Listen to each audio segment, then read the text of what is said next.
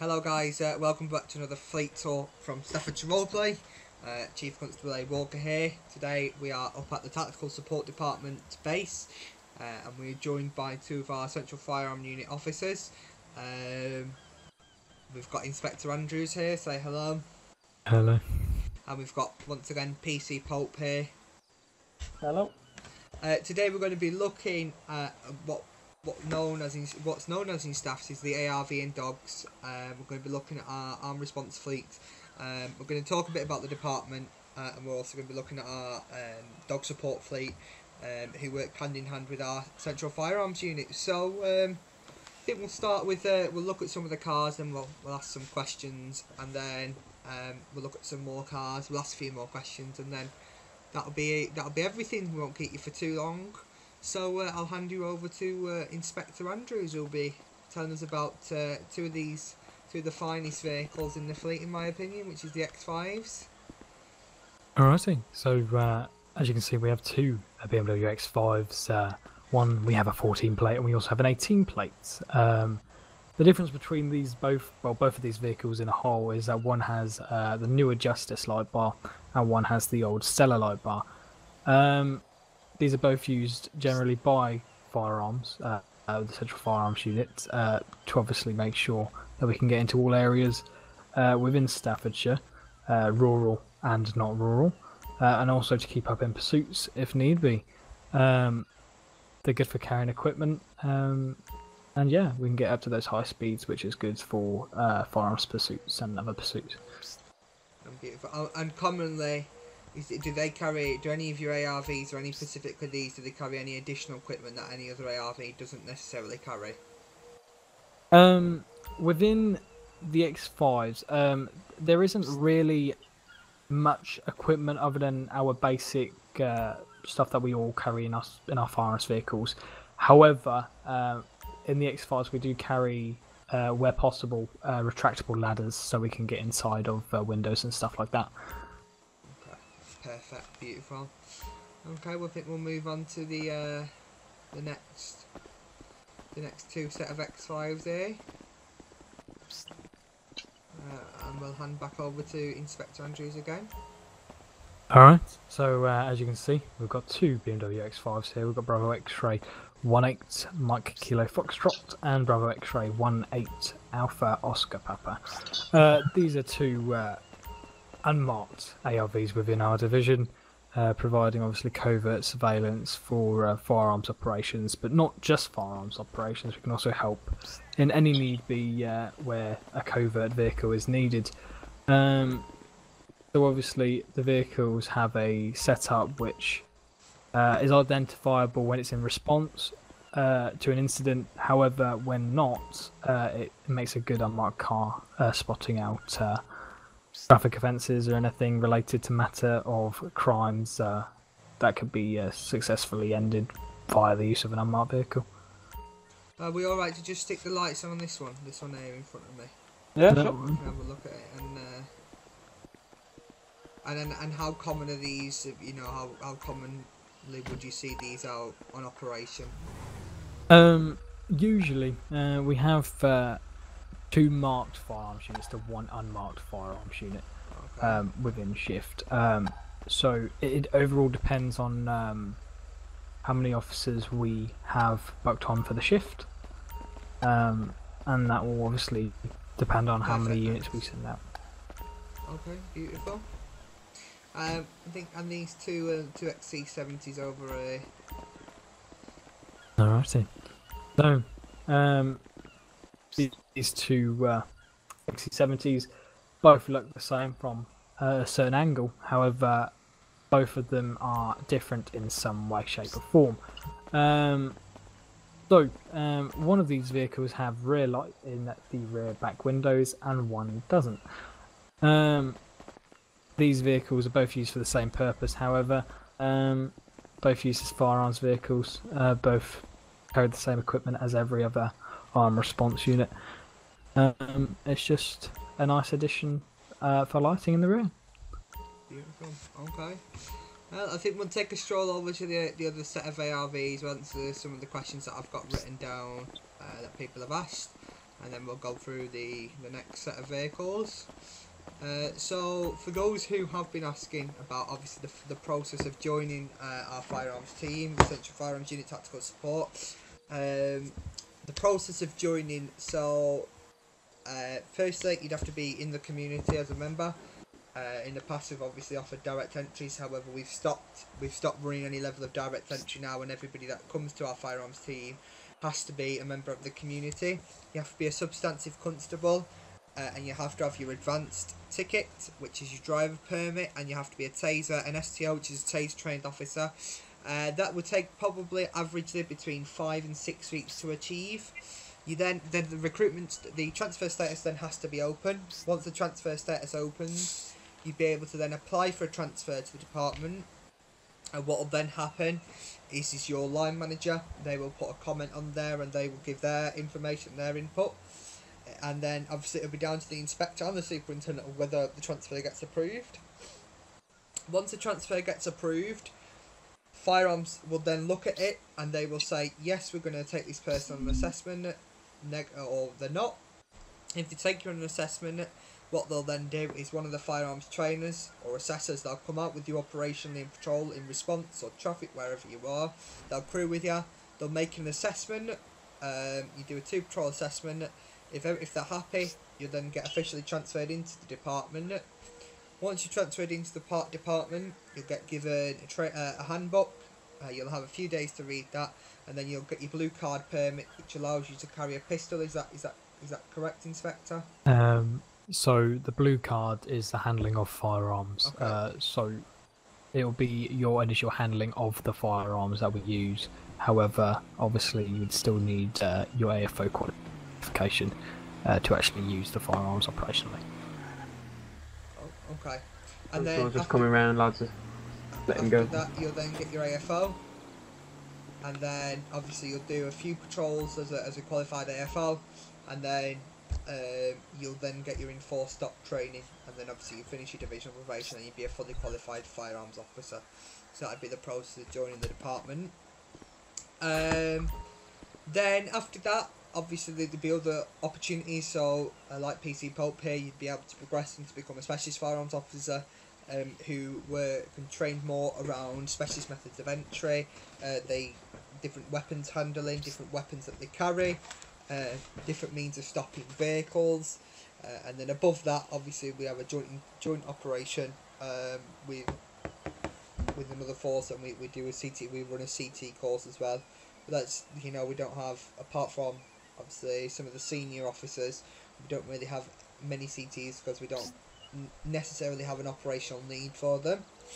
Um, there's other areas you can become trained in. Once again, you can obviously progress into being an NPAS pilot, even when you're in uh, the Central Firearms Unit, and obviously your advanced life support training, things like that.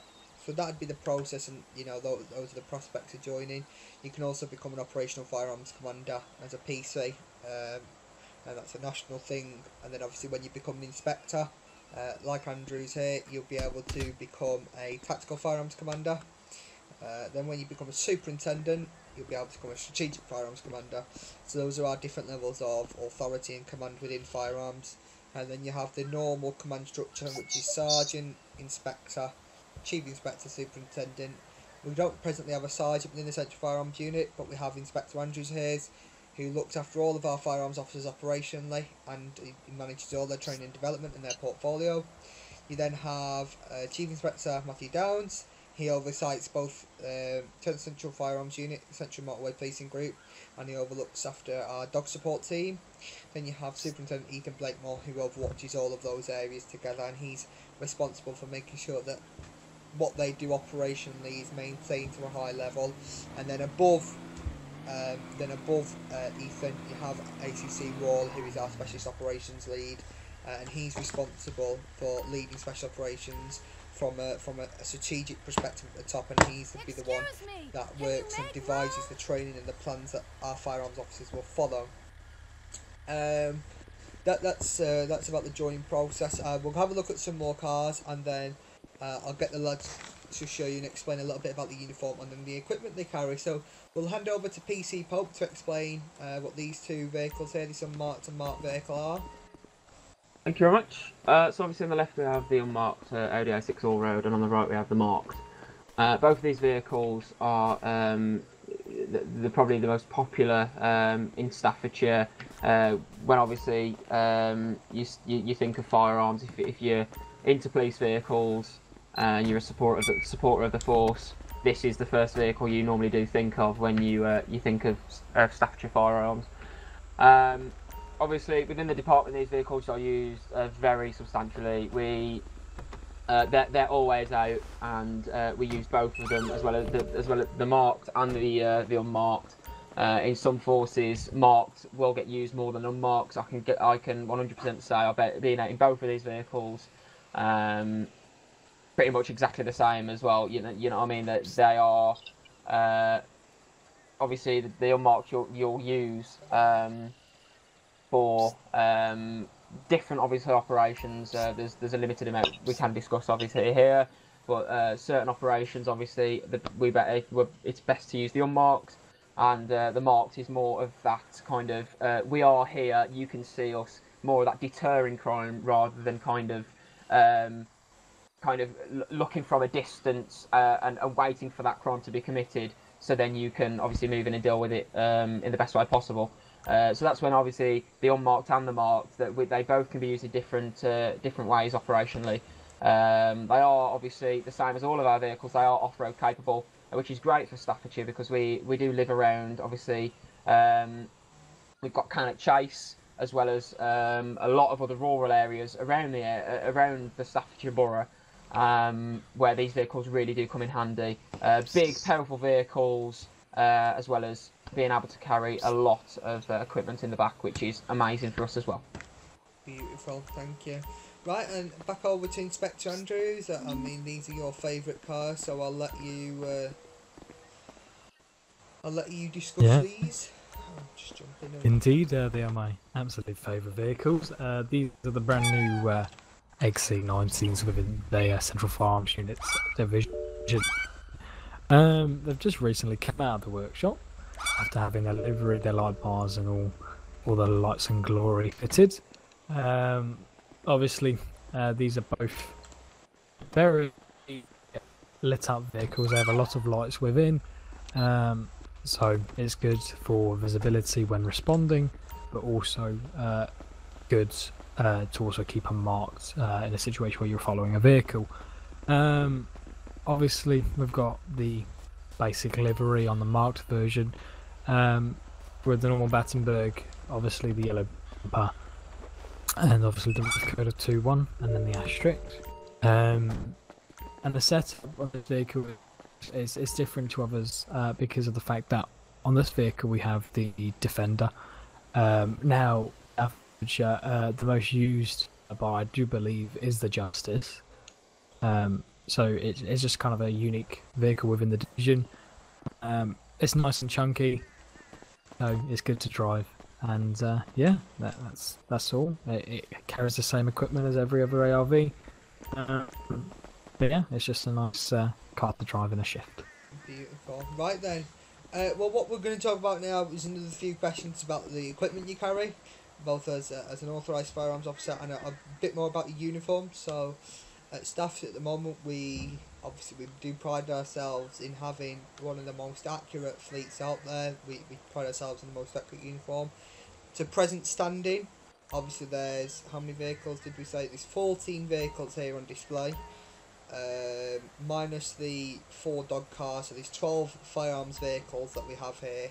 Obviously they all have three or four number plates each depending on obviously the staff's uh, fleet list that we have access to for example, our uh, our marked Audi here, that there'll only be three. There'll be three variants of that, three different number plates. Um, so we we're missing one car from the firearms fleet now, and that's the Volvo V70 ARV, and then that'll be our entirety of our central firearms unit fleet complete for now. Um, and we pride ourselves in accuracy, you know, being accurate and realistic and a lot of time and effort goes into the making of these vehicles and obviously thank the development team for that. Obviously going on to the uniforms, currently in the process of reworking our firearms uniform as well as our response uniform. We're changing our response uniform from the standard vest that most communities use We'll move into the um, rigged vest, The there. uh, the loadout vest, should I say? Obviously, we're going to be posting a picture of that this evening on Twitter for for the for, for members of the public to see and people who are interested. Uh, we're going to talk about the firearms uniforms. I've had some questions about the call signs that are on the on the shoulders from one of my videos that I released, uh, and then we're going to talk about the equipment that you carry. So, could you just explain to me, Inspector, what these um, obviously on your sleeves there it says seven zero, and on obviously PC Pope's it says eight three. Can you just explain to me what those are used for? Yep, uh, of course we can. So, um, Alpha 70 is my call sign uh, while I'm on scene on a deployment of some sort, uh, depending on what kind of deployment it is. That can be an advanced deployment or a standard uh, deployment. Um, 70 is uh, my call sign to identify that I am an inspector. Um, and every single firearms officer, once they complete their training, they're always given a alpha call sign, which is what we refer them to. Uh, it's mainly a, an identifier on scene. Uh, eight three shows that as a constable. Um, so eight eight zero and above uh, shows that as a constable within the division who uh, has completed their AFO training uh, and has their alpha call sign for identification purposes. Um, as uh, we don't really like to show our collar numbers, uh, but if we are required to give them, we will do. Perfect. Um, obviously, for those, the seven zero is an inspector. The sergeant is seven one. Is it? Uh, I. Well, we haven't got that assigned yet. Uh, we need to look in the paperwork for it. Uh, okay. Well, mine as chief constable, I, I'm a qualified firearms officer. I am Alpha Two One.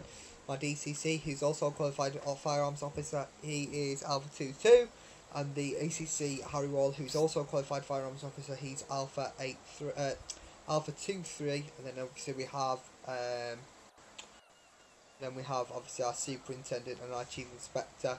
Um, I don't have theirs to hand, but obviously operationally when they're going out as a firearms asset, they will go out with their with their alpha call signs as well. Um, so take us through the standardised equipment that you would carry, uh, if you won't mind, if, that, that's that possible.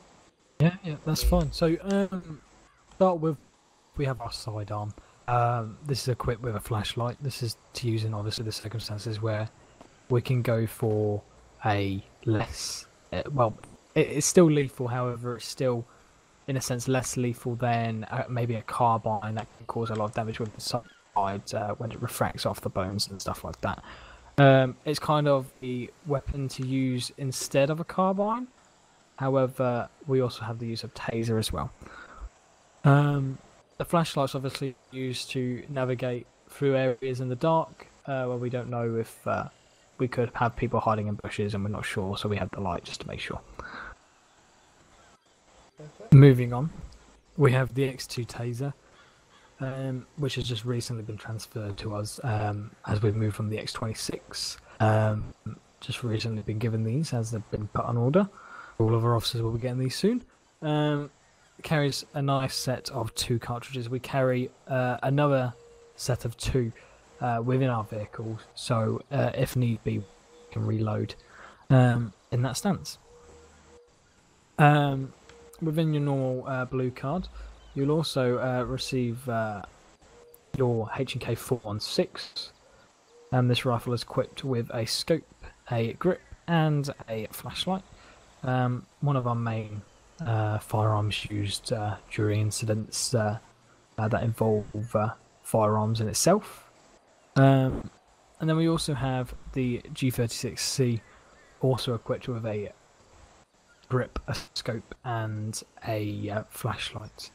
Um, so we have the standard policing gear, such as the baton and a flashlight, as well as our beanbag. Uh, well, our, our baton round uh, gun that's in our vehicles at the moment in time. We haven't managed to get them out, um, and also our breaching shotgun, uh, which is also inside the vehicle. Um, we also do use flashbangs in certain cases where it's been authorised by uh, the FDO um, in circumstances where flashbangs are deemed suitable um, for the current incident. But uh, I'm going to pass you over to Alpha 83, um, who's going to tell you a little bit about um, specialist firearms officers' uh, weapons. Okay. Okay, uh, so obviously as a specialist firearms officer, um, as a new specialist firearms officer, um, I've had the uh, the great opportunity to obviously play around with some new weapons, and um, they are really it's it's really great how you are able to. I mean, because they're they're tools at the end of the day. They're tools which allow us to do our job the best possible way we can, and as obviously most people see guns, that they're not a great thing, you know. Um, but for us, uh, it allows us to protect our own lives as well as other people's. So if we obviously the better guns we have and the better tools we have, that allows us to obviously deal with um, incidents uh, to the best of our ability. So um, bear with me one second. So okay, uh, so as a specialist uh, farms officer, uh, we are equipped uh, with obviously multiple different weapons. Uh, the most substantial uh, one for me uh, is obviously uh, the sniper rifle. So this, obviously, this this gun, it's a, it's a it's a I keep on saying great, but it's a um, obviously a long range weapon. So, for instance, if we have a um, a problem with somebody who is um, someone who is far away. That's just the, the, the, as much as I can really say. Uh, we would obviously get a, a get a vantage point. Uh, myself, um, obviously, if we are on advanced um, firearms authority and it has been granted, I would then. It's my job to go up, find a vantage point, a safe vantage point, and uh, see if I have obviously a um, a clear line of sight to the suspect or the situation which is going on. Obviously we, we, we deal with uh, multiple different instances every day, uh, but uh, I, I haven't had chance obviously to deploy this weapon operationally. Um, but obviously they are there to be used, and uh, they're not obviously just a uh, just a nice uh, kind of show or on show. They, they do get used, um, and they're a great part of our obviously weaponry. Um, Okay, so next, as I obviously uh, specialist firearms officer, uh, we are trained in breaching. So uh, breaching is a very, very important part of uh, obviously gaining access to buildings, and uh, doing it safely is a completely different story. Most people they they uh, see us as people who we just kick the doors down and breach in, and we just go in, all guns guns blazing. Yep, that does happen. You know, we do we do kick down doors. We are trained to, to, to breach into a, a building safely without injuring ourselves or anybody else. Um, but obviously, this uh, this shotgun that you can see now, um, great for obviously uh, gaining entry into buildings. Um, we are trained as SFOs to uh, obviously the, the best way, the most effective way uh, to aim this weapon at the at the door in a way which will um, not just obviously blow the, um, the the the main obviously pin that you see, which obviously closes the door, which locks it, but um, obviously the force of the weapon does does blow back and it will open the door as well. So obviously, as soon as that weapon's been deployed, the officers can go in and do their job uh, to best their ability. Um, obviously, that training for this weapon, uh, we we do obviously train a lot of our CPDs that we do. Uh, and training sessions uh, are re- revolved around breaching and entering the building and sweeping the building and clearing it. Uh, so obviously, this is a great way for officers to always keep on top of their tactics it's a great opportunity for me, obviously being an SFO, uh, to be constantly building on my skills. Beautiful. Um, so there we go. That's, That, yeah, yeah. So, so I, I another request request inspector if, if we can grab it from one of our vehicles, if we can see the big red key as as one person's asked. Oh, Personally, I can talk a little bit more about the firearms training uh, very quickly. So, a part of our Just training, open the boot for you if you want. Oh, no. Uh, part of the training uh, as a firearms officer, so as an AFO, you would be trained in a range of entry tactics, building clearances, uh, how to stop and challenge suspects, how to handle firearms correctly. You'll also train how to deploy uh, firearms from your vehicle, so that's more common than a G36. So our firearms officers are trained to deploy a G36 say from the window of their vehicle, uh, should there be a need to. Um, obviously, as well as of the firearms shown by one of our firearms officer. Uh, I mean, we might be able to get the baton round out if it's available. Yeah, Uh, just getting that for you now, boss. Uh, uh, as our firearms officers, they also carry the MP5, which is a smaller, obviously uh, lower impact weapon. Um, semi-automatic weapon, I believe. Um, and then, um, yeah. So this is the big red key. It's what not only firearms but our traffic officers have access to, and our and our response officers who are method of entry trained. That's one of the many tools that we can use as a as a, as a community, uh, as a, obviously as a force to make entry to property. Uh, it's quite a heavy piece of equipment, and it does it does a very good job. Um, we're gonna have a look at the uh, the beam background as well. So There we go. So obviously, If you want you to tell talk, us what this is talk about it a for, bit? yeah. Okay, yeah. So obviously, uh, this weapon it is uh, it does look di- different to our other weapons. Obviously, it's got these two big green patches on it. Uh, that's obviously it is uh, it's still classed as a firearm, uh, but obviously uh, this is more of a, a less. Um, it's still lethal, you know. If, if this is if you shoot someone in the wrong place with this, you can do a lot of damage, uh, just the same as any firearm.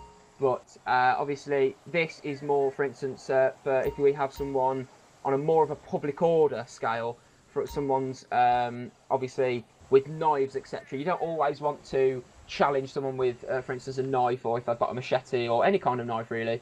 Um, it's not always good to challenge that with a firearm. Uh, and if a taser, for instance, has been deployed and you'll know and you haven't got any more cartridges left, sometimes it's easier to pull this uh, to get this firearm out and deploy this instead of anything else. Uh, obviously, it can be lethal and it can be used as a lethal weapon if it's used in, in a particular manner. Uh, but this, obviously, th- this weapon in, in particular is um, it, it is it's great for obviously the public, more public order side of things, and uh, it's just another uh, tool you could say to add to our uh, weaponry, which we can use when we're deployable and out on uh, jobs. So another good a good exa- a good example, obviously operationally recently, our, our, our Central Firearms Unit they attended a male who was inside a building and he doused himself in petrol, uh, and he threatened to set himself alight with other people in the building. Uh, obviously, they, they deployed this as a, a, really good example where they've obviously taser, um, obviously being electric can, cause fire. Um, obviously, so the beanbag background is an option there where you know they can discharge and detain the male appropriately without using any lethal force. So it's a really good weapon. So I'll put, let you put that back. I'll just talk a little bit more about the training and then we're going to go and have a look at the dog support team. So further talking about our specialist firearms officers, once you're a substantive officer within firearms, uh, you will eventually be able to apply. So after about two to three months of being a substantive PC in firearms, uh, you'll normally get the opportunity. You'll either you might even get it before then. You might be offered it um, you become trained as an SFO. SFOs, they their training involves the safe use of specialist firearms. Um, it, uh, they train um, further into the method entry techniques um, to gain access to properties quickly. Uh, they do a little bit of training about abseiling and fast rope, so they, they've got they do a small part of their training is about fast roping from helicopters onto platforms, buildings, etc. Um, they do a lot of scenario based training, so that'll be be common scenarios that they may face as an SFO. Uh, they use the use of stun grenades is a big part of their training. Um, they work closely.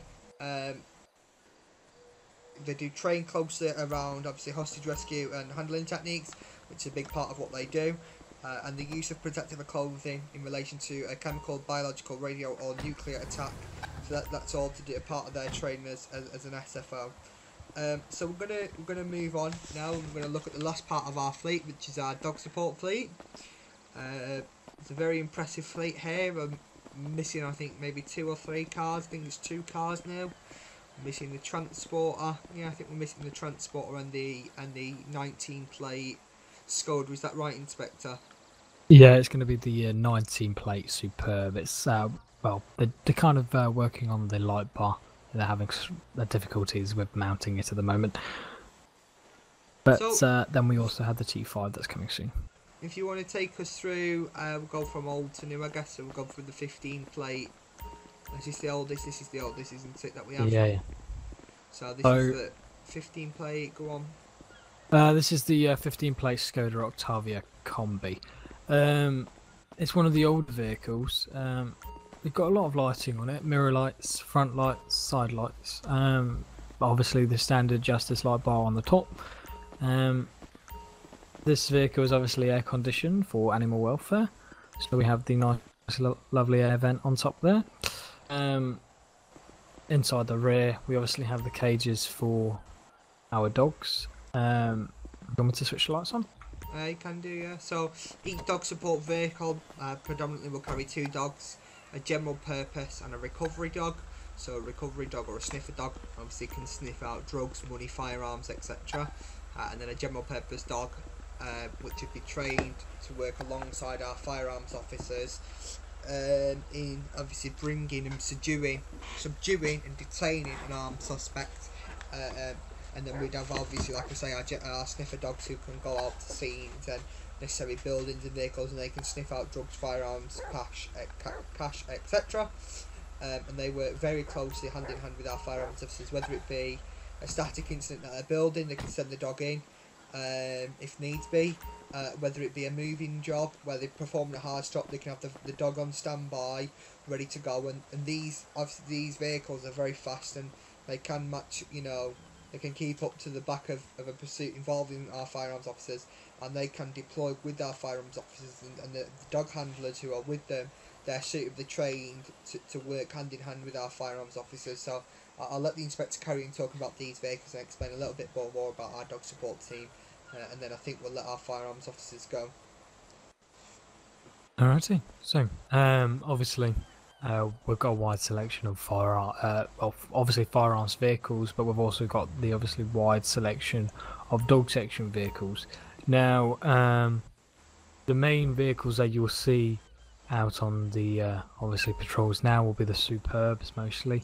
So that's these three vehicles right here.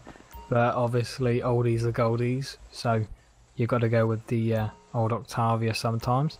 Um, but obviously, next we do have the uh, 17 uh, plate um, Skoda Superb. Um, this obviously, if we walk around the vehicle, has the air vent on the top, uh, lighting all the way around the vehicle. Um, but obviously, we have the specialist uh, logos on the side saying this vehicle's air conditions, caution police dogs, police dogs obviously. Um, we want to make sure that's visible. So no person can say that we haven't identified ourselves as the police dogs, as it's clearly visible on all of our vehicles, plus on our uniforms it also says dogs. Um, should we switch the lights on this yeah, one? can do. So on this these specific ones, obviously our dogs teams can deploy the dogs from the back window in, in, in the necessary need. If they pull up, the person running, i.e. if they're in a field or whatever, they can deploy the dog straight out the window. The dogs are suitably trained to do so. They can deploy the dog straight out, um, obviously which helps catch the suspect. A very nice vehicle. Thank you, Inspector. Alright then. Now moving on. Um, we have the 16 plates unmarked uh, superb. Now this is uh, used in the same reason for unmarked firearms units, meaning that it can be used in covert situations, um, but obviously also marked situations due to lighting. Um, it's got sufficient lighting for uh, road users to know that this is a police vehicle when responding. Um, with obviously the vehicle showing not really many signs that it is a police vehicle while driving normally down the road, other than the air vent on the on the top. Um, obviously, the vehicle is a very nice vehicle, and uh, is is greatly loved by our dog section colleagues. But and the last Alright. one now. Yep. So the last one here is um, one of our 16 plate uh, Skoda Superbs. Um, this one has obviously different bumper style uh, to the 17 plate version over there. Um, so obviously this vehicle is is is literally the exact same as the 17 plates. However, there's uh, some livery adjustments, um, and obviously uh, the setup remains the same. Um, however, we've got bumper dif- uh, differences. Um, so there's a little bit less yellow on the front bumper than on some of the other vehicles. Um, but other than that, this vehicle is the same, and uh, it provides a great, obvi- obviously, support for firearms as well as uh, response. Beautiful. Well, that's everything from from our central firearms unit. That's um, that is our central firearms unit fleet and and our, ARV and dogs. Um, obviously, uh, there's a lot of a lot of information there for members of the public and for people who are inquiring about our firearms team. Just to quickly explain a little bit about our dog support. So dog support is something that we're presently working on internally. Um, and we obviously when we do open our recruitment opens on Friday the I'll get you the date Friday the 4th our recruitment reopens for members of the public after being closed for just under three weeks um, our recruitment will reopen to the public and there will be a direct entry path to join as a dog handler. Um, obviously there's, there'll be a specialist specialised training which will get you trained qualified as, a, as an officer as a response officer. Uh, and then obviously you then further progress uh, uh, into your dog handling training and handling of the dog um, and how to drive the vehicle appropriately and obviously you get that training to work alongside our firearms colleagues our dog handlers they none of them carry firearms they are all uh, just they carry so they're taser trained officers and they do not carry any firearms but they support our firearm colleagues operationally not just firearms but they also heavily support response burglaries things like that uh, and they heavily support our traffic department. Um, so this is an all-round good area, so that keep an eye out for that on our website. Uh, but other than that, I think that's everything. Thank you, PC Pope, Inspector Andrews, for your time today. It's appreciated.